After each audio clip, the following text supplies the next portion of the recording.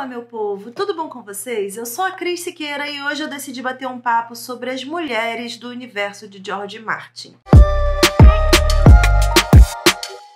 Recentemente a gente fez uma live aqui no canal comentando um pouquinho a trajetória de cada uma dessas mulheres, tanto dos livros de Game of Thrones quanto do livro Fogo e Sangue. E como George Martin traz uma reflexão muito ampla sobre todas essas mulheres em diversos cenários diferentes. Nessa live a gente recebeu alguns comentários muito curiosos e a maioria dos que me chamaram a atenção aqui foram de mulheres, mulheres que questionavam inclusive a trajetória das personagens de George Martin. E ele já deu várias entrevistas comentando inclusive essa essas opiniões que são super controversas com os objetivos que ele tem para a própria história. Então eu decidi abrir esse diálogo aqui com vocês e passar um pouquinho pela estrutura do George Martin na construção dessas histórias, das crônicas de Gelo e Fogo e principalmente sobre como ele se inspira e cria a história de cada uma dessas personagens que fazem muita diferença nessa grande luta pelo trono de ferro. Diferente de Game of Thrones, o universo de Fogo e Sangue traz uma luta dentro de uma própria família, mas isso não invalida a importância dessas batalhas batalhas que duraram alguns anos e que ficaram conhecidas como a Dança dos Dragões. Recentemente, em entrevista, George Martin comentou que Game of Thrones, como todo mundo já sabia, foi baseada no período da Guerra das Rosas e que Casa do Dragão foi baseada no período anterior a isso, anterior a essas guerras de sucessão de um trono já estruturado. Ele fala sobre um período intitulado pela história europeia principalmente como anarquia, em que praticamente todos os modelos políticos apresentados de hierarquia eram questionados, tanto pelo povo quanto por quem anteriormente já tinha algum certo tipo de poder. Esse período teve conflitos muito fortes e muito poderosos, principalmente da igreja com a população e quem queria instituir algum tipo de sistema político. Complementando para quem não sabe o que foi a Guerra das Rosas, foi a disputa entre duas famílias pelo trono britânico por volta dos séculos 14 e 15, que durou mais ou menos 30 anos. Durante esse período, várias pessoas se sentaram no trono intercalando essas famílias e resultou em muita morte e muito problema social para quem estava ali no entorno do castelo. A gente sabe que George Martin se inspirou, mas seguiu caminhos completamente diferentes. Afinal de contas, a história de Guerra dos Tronos fala de várias famílias disputando pelo poder. Ele coloca alguns elementos que são claramente históricos, só que ele segue ali uma questão de alta fantasia para criar a própria narrativa. Se você quer saber um pouquinho mais sobre a Guerra das Rosas e principalmente os conflitos familiares que rolaram nesse período na Inglaterra, eu recomendo duas séries, The White Queen e The White Princess, que estão disponíveis lá no Stars Play. As mulheres de Game of Thrones sempre trouxeram discussões muito ricas, seja para criticar determinada atitude que acontecem com elas dentro da história, ou para entender as suas trajetórias e a construção de oportunidades. George Martin coloca isso belíssimamente bem, por exemplo, na história de Sansa e de Arya, que tiveram trajetórias completamente diferentes desde o início, desde a sua primeira infância. A Arya tinha determinadas aptidões que a Sansa não tinha, e isso era colocado ali em contraponto, como se a Arya tivesse que seguir, por exemplo, os caminhos da sua irmã mais velha, como se ela tivesse tivesse que se inspirar e ser como a Sansa sempre foi. Suas aptidões e os seus talentos nunca foram de fato aproveitados quando ela era criança ou no início da adolescência. E foi apenas seguindo solo pelo mundo, criando seu próprio caminho e a sua própria história, que Arya conseguiu desenvolver todas as suas melhores qualificações. Da mesma forma que Sansa sempre foi treinada para seguir um caminho mais politizado, ser uma grande esposa, ser uma donzela, estar ao lado de um grande homem. E ela acabou desenvolvendo os seus talentos e as suas aptidões no momento em que ela foi perdendo muito daquilo que ela via como um mundo cor-de-rosa. Ela acreditava realmente num futuro em que ela fosse privilegiada, assim como Cersei. A gente consegue comparar muito bem a história dessas duas personagens. Só que durante a trajetória de Game of Thrones, as duas foram percebendo que o sistema era feito para homens e não para elas. Claro que a gente consegue desbravar também o universo de Daenerys Targaryen, de Brienne de Tar, como essas duas personagens foram trabalhadas completamente diferentes, mas ao mesmo tempo de uma forma muito igual. E a gente pode também falar um pouquinho sobre a série que diferente dos livros, a gente caminhou com a história dessas duas personagens até o final. Claro que não terminando do jeito que muita gente esperava, mas as duas personagens tiveram uma trajetória de guerrilha muito forte colocada ali na história. Elas aprenderam com o sistema, elas aprenderam em campo de batalha e elas foram desenvolvendo aptidões também. Brienne, desde o início, tinha um alinhamento militar muito bem definido, mas Daenerys Targaryen foi aprendendo ao longo da sua história que o seu sobrenome não era a única carta que ela tinha na manga. Ela poderia trabalhar, claro, todos os seus conhecimentos históricos, que era o que realmente deixava muitos poderosos em Westeros completamente vendidos. A questão do Alto Valeriano, a questão dela ter um conhecimento político muito grande, não era o ponto de vista que ela queria. Ela começa a história sendo uma moeda de troca, mas ela termina sendo a única capaz de honrar a história dos Targaryen em Westeros. Sei que o conceito de anarquia ele é muito difundido e questionado por diversos sistemas políticos, sociais e econômicos. Mas na origem da palavra, anarquia nada mais é do que um movimento que luta contra uma hierarquia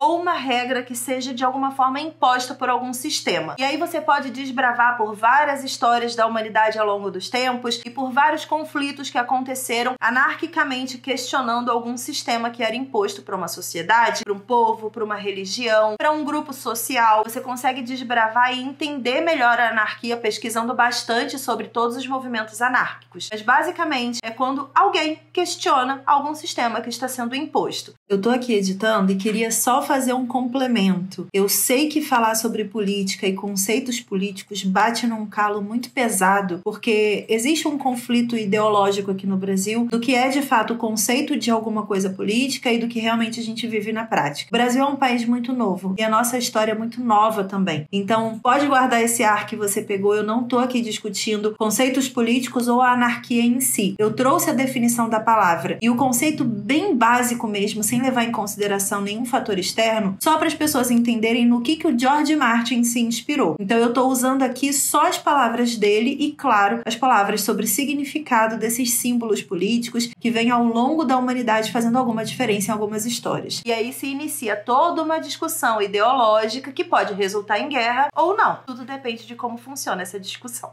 que Game of Thrones e Casa do Dragão se conectam nessa história? É muito simples. Toda a história de sucessão de trono, de alguma forma, questiona o poder e a capacidade daquele possível monarca de governar uma grande nação ou de liderar aquele povo. E em Game of Thrones a gente tem exatamente essa discussão sobre o poder das mulheres. Se elas seriam realmente capazes de, em algum momento, liderar um exército ou liderar uma grande nação. A gente tem essa história vindo pela Sansa, vindo pela Cersei, vindo pela Daenerys, vindo pela própria Brienne Brienne, que tem ali o seu título de cavaleira questionada em diversos momentos. E agora, em Casa do Dragão, a gente tem exatamente essa discussão, só que com outro olhar. Rhaenys Targaryen, Rhaenyra Targaryen e a própria Alicent Hightower são questionadas pelos seus posicionamentos, ideologias e pensamentos, exatamente por serem mulheres, como se tudo que elas falam, fazem e pensam valesse um pouquinho menos do que os homens que estão ali na mesma posição. Em diversos momentos, durante a exibição das oito temporadas de Game of Thrones, George Martin deu entrevistas em que ele comentou que o universo de Westeros não era anti-mulher. Isso aconteceu, essa crítica direcionada às mulheres e como elas eram tratadas pela história, principalmente vindas de pessoas que não leram os seus livros e não entenderam a construção narrativa de todas essas personagens. E ele chegou a falar em diversas vezes que o Westeros não era mais anti-mulher do que a vida real ou do que chamamos de história. E isso é um ponto que faz a gente refletir. Por que que quando a gente vê uma personagem como a Sansa, por exemplo, sendo estuprada em Game of Thrones, a gente questiona a forma como ela está sendo tratada. E na vida real, diariamente, várias mulheres passam pela mesma coisa e ninguém nem se importa. E é muito curioso, né, que para embasar determinadas reclamações, as pessoas criem subterfúgios para colocar os seus argumentos. Por exemplo, isso não existia no livro, portanto, foram os showrunners da série que colocaram isso aqui para estragar o papel da mulher dentro daquela sociedade. Desde o início na série, a Sansa não era a Sansa do livro. Em diversos momentos na história, os caminhos dos personagens foram trocados por uma opção criativa ou por uma falta de opção, saber o futuro desses personagens. A gente tem que colocar muito no contraponto das nossas opiniões as coisas que são fatos realizados dentro da produção de uma série como Game of Thrones, que a gente sabe que impacta muita gente e acaba furando a bolha de quem realmente gosta de fantasia e acaba consumindo tanto livro quanto série quanto em filmes. O George Martin fala e a gente precisa levar isso em consideração. Ele tem um blog chamado Nora Blog, eu vou deixar o link aqui na descrição. Ali tem tudo o que ele pensa, tudo que ele fala e tudo que ele sente sobre o universo das Crônicas de Gelo e Fogo. Inclusive, tem muitos textos que ele publicou na época de Game of Thrones que apenas recortes foram publicados pelos grandes sites a fim apenas de causar polêmica e criar hate em cima de muitas decisões criativas dos showrunners da série. Eu recomendo que vocês busquem sempre uma fonte confiável antes de julgar uma opção criativa de algum conteúdo de adaptação. George Martin sempre deixou muito claro que a sua alta fantasia foi inspirada no universo de Tolkien Tolkien. Discutia questões políticas, as diferenças raciais e como essas formações sociais completamente diferentes, elfos,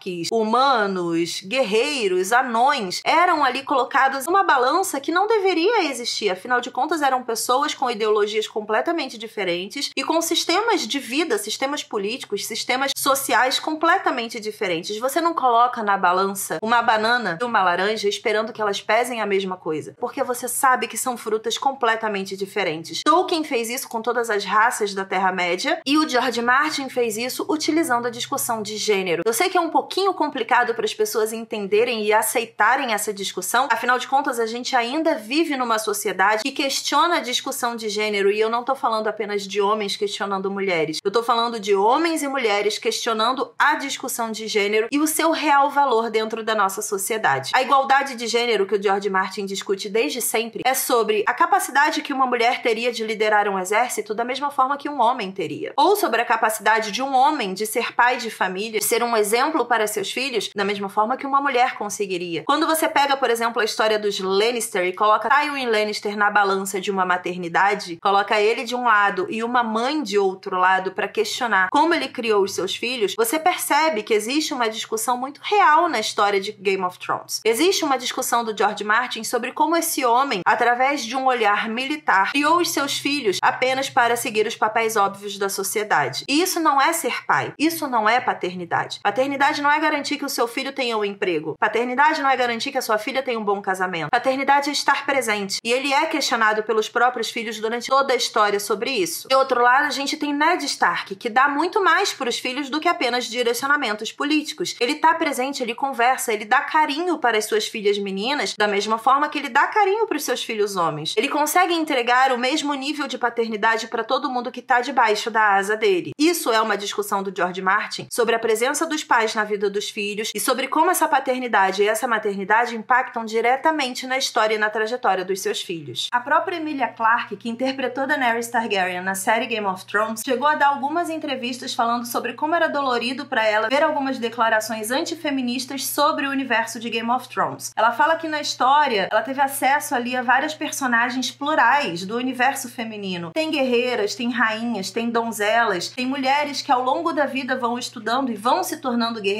ou políticas, pessoas que realmente se colocam à frente de um povo para defender uma grande ideologia. A partir do momento que você tem um universo muito plural feminino sendo apresentado ali, você não só defende algumas pautas feministas que precisam ser discutidas sim na sociedade que a gente vive até hoje, como também mostra para o mundo que mulheres são plurais e não seguem um padrão de capa de revista. Nós não somos clones, cópias umas das outras que têm que seguir um padrão definido para nós. Nós podemos escolher o nosso caminho, o nosso destino, e essas personagens, principalmente em Game of Thrones, trazem muito toda essa discussão. Agora em Casa do Dragão a gente vê isso novamente. Só que a partir do momento que a gente tem um núcleo específico em que a gente discute pequenas personagens dentro de uma mesma família, a gente percebe que nem sendo criadas debaixo de um mesmo teto, as mulheres são todas clones umas das outras. Rhaenyra e Alicent Hightower são mulheres, de lados opostos de uma guerra que discute sucessão de trono. Mas essa discussão não começou na história delas. Se você voltar no período da conquista de Aegon e suas irmãs, com a frase icônica dos Targaryen de que três cabeças tinham um dragão, você vai perceber que, durante toda a liderança Targaryen em Westeros, lá no início na conquista, quando o Trono de Ferro foi construído e essa hierarquia de ter um monarca apenas acima dos sete reinos foi construída, Aegon e suas irmãs tinham exatamente o mesmo posicionamento no Trono de Ferro e a mesma voz no Trono de Ferro. Quando Aegon viajava pelos sete reinos com a Rhaenys e deixava Visenya no seu trono e ela sentava no Trono de Ferro, a gente tinha uma liderança feminina que dirigia o Westeros durante o período em que ela estava sentada ali. Então não existia realmente um questionamento dentro da família Targaryen sobre o poder feminino. Elas sempre foram consideradas como possíveis sucessoras do trono. A grande influência que começou a questionar esse tipo de escolha para o Trono de Ferro veio do pequeno conselho, do grande conselho, do conselho 101, do jeito que vocês quiserem chamar aqui. Mas começou de fato de outras casas, de outros reinos e de outras visões políticas, sociais e religiosas que questionavam o lugar da mulher nessa sociedade. De volta para Casa do Dragão e pensa em como essas mulheres foram trabalhadas na história quase como um experimento social. E agora nesse segundo episódio que a gente viu essa semana de Casa do Dragão, a gente pôde entender um pouquinho disso. A Alicent é uma menina que apresenta, por exemplo, uma atitude muito ansiosa. Ela coloca ali dentro daquela mania de cutucar as cutículas em volta da unha e cutucar a própria unha e se autodestruir de tanto nervoso, de tanta ansiedade, toda aquela energia que ela não consegue verbalizar. Afinal de contas, ela é um fruto do patriarcado, como a própria atriz que interpreta essa personagem colocou muito bem. Ela foi construída pelo seu pai para ser uma boa esposa. Ela é uma das meninas mais requisitadas do reino e ela conquista o título máximo de casar com o rei. Contra sua vontade até uma determinada instância, mas a partir daquele ponto, ela se torna realmente um fruto do sistema. Ela passa a ter aquela posição, tanto dela quanto dos seus filhos, como a sua grande batalha. É o seu objetivo de vida, garantir que isso não seja tirado dela de forma alguma, afinal de contas,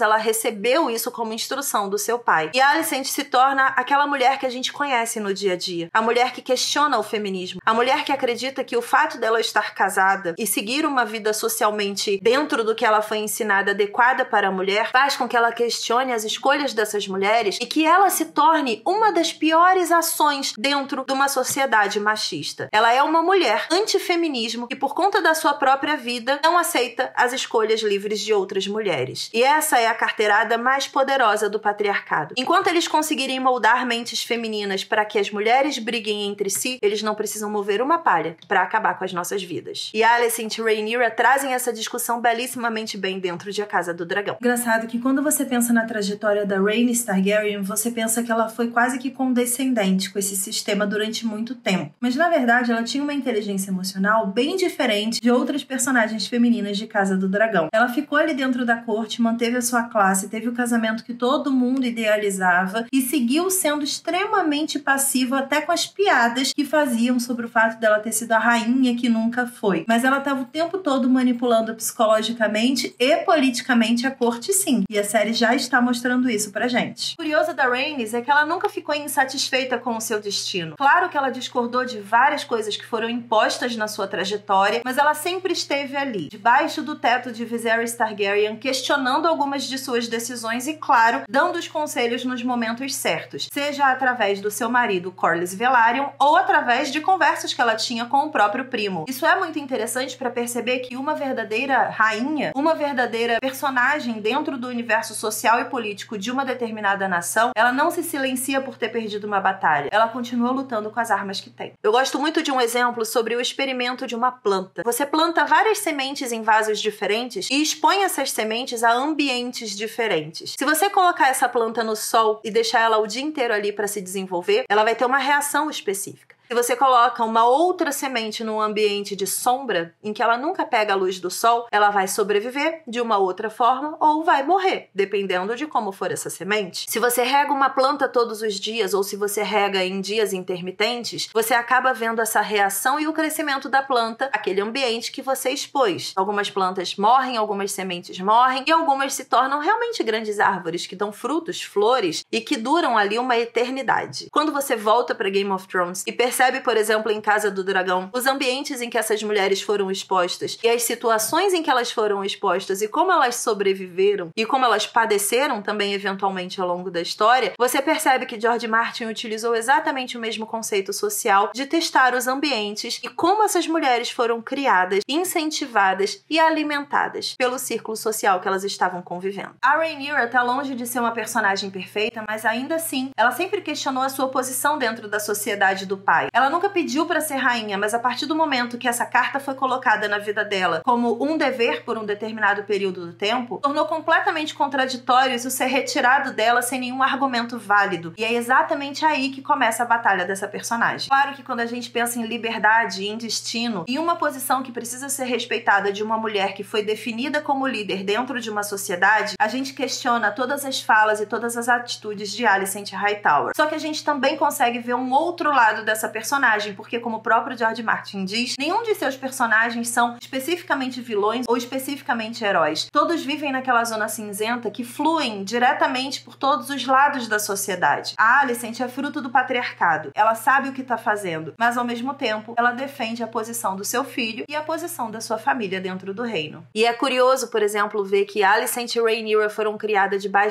do mesmo teto, mas expostas a situações estressantes completamente diferentes atitudes foram expostas a objetivos e pressões completamente diferentes e, portanto, se tornaram grandes árvores com frutos e flores completamente diferentes. O que a gente precisa lembrar é que em toda essa história de George Martin, sempre vai ter um homem para financiar a guerra entre duas mulheres, seja incentivando que elas se matem ou incentivando que elas discordem umas das outras. Existiria realmente um ponto de encontro na relação de Rhaenyra e Alicent Hightower em que elas poderiam ter de fato trabalhado juntas. Elas foram criadas e cresceram juntas no mesmo lugar. Elas viveram exatamente a mesma transição política, social e econômica de Westeros. Elas poderiam sim ter se entendido em algum momento. O problema é que todas as duas receberam influências externas para que lutassem em campo de batalha e se matassem de alguma forma, seja suas ideologias ou fisicamente, que elas desejassem o mal uma da outra. Quando a gente transporta essa história para a vida real, a gente percebe que diariamente nós somos incentivadas a discordar umas das outras e a julgar exatamente as escolhas que outra mulher faz. A gente precisa entender que essas histórias não são apenas sobre alta fantasia e sobre um ponto de vista do George Martin do que aconteceu na história do passado. Isso diz muito sobre o presente que a gente ainda vive e ainda desenha. Então a gente tem essa oportunidade de não escrever mais histórias de Alicent e Rhaenyra para o futuro das mulheres na nossa sociedade. Comenta aqui o que, você achou desse vídeo, se você curtiu esse papo e se você já tinha pensado em